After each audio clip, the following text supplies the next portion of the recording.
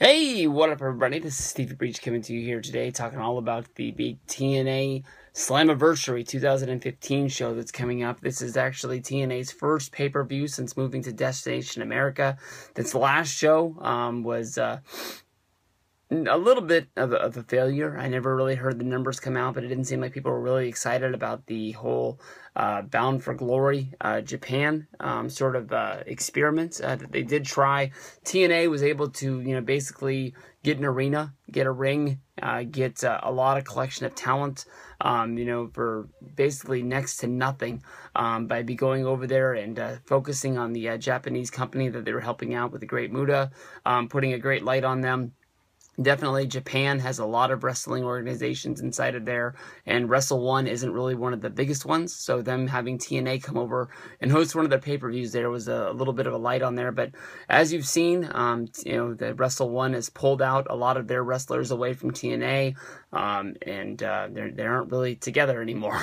um, so, they're going to be doing this show um, from the Impact Zone, uh, basically because of Destination America's idea to move Impact um, from Fridays to Wednesdays. Um, there was a whole big mess because Impact had already gone to the Impact Zone and recorded all the shows that they thought was, were going to be used up into the Slammiversary Go Home show, which was going to be a live um, show that they were going to shoot for Destination America.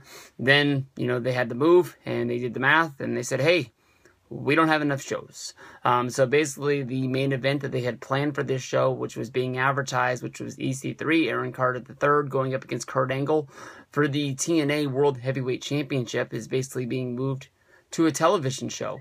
Um, you know, it seems they have seven shows on the books. Kurt Angle's not there. I don't know if that's because they don't want to see Kurt Angle wrestle two matches in, in, in two nights. Uh, they don't think his body's going to be able to go through it.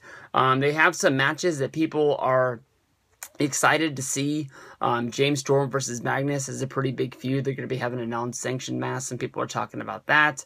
You have the big King of the Mountain match with Jeff Jarrett making his return, which was being billed as a um, championship match. But as of right now, there is no X Division title on the line. There is no World Heavyweight title. The, the champion's not even in the match. So I don't know what they're going to do with this. Jessie Godderz versus Robbie E. Uh, the breakup of the Bromans. The Dollhouse, one of the hottest girl groups there is in wrestling, going up in a three on two handicap match. Awesome Kong and, and Brooke. Uh, you got Lashley and uh, Mr. Anderson going up against Mr. Main Event himself, EC3 and Tyrus.